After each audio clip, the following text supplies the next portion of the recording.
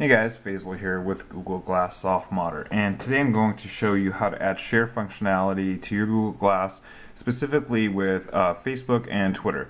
Uh, if you have messed around with Glass, you may have noticed that uh, out of the box, if you take pictures or videos, the only place you could share them is with Google Plus, which is, um, you know, that's great if you use Google Plus, but a lot of us don't. So um, go ahead and hit the My Glass app, and you're going to go up here and go to Glassware which is really kind of like the marketplace or repository for apps specifically for Google Glass.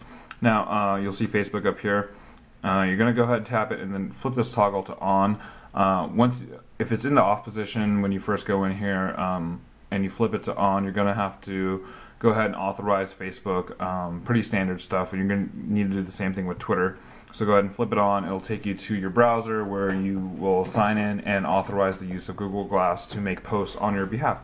So uh, once that's done, uh, you're basically all set to go. Those apps are going to shoot over to your Google Glasses and you'll be all set. So now on the glasses, um, I'm going to say, OK, glass, take a picture.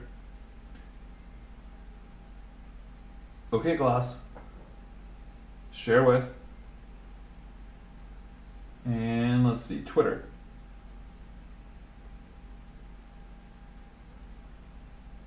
Okay, Glass.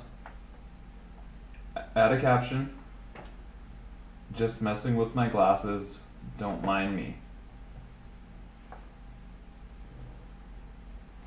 And that's it. Now that one's going to head to my timeline. Um, it's going to fascinate all of my, you know, 15 followers.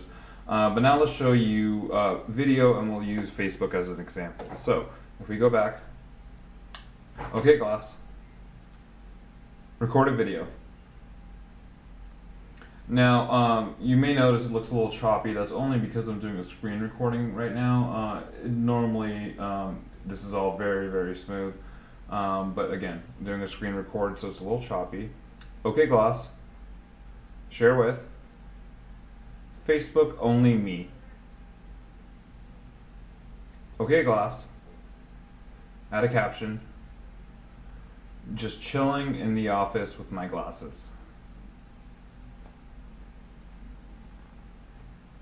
And that's it. Uh, now that's going to shoot over to my Facebook wall. Uh, again, you know, one thing you want to be careful of uh, is it's very easy to accidentally share stuff using these glasses. So, um, you know, you, you obviously have your phone nearby. So if you have an accidental share, just pull up your Facebook account and uh, you can delete the post or whatever.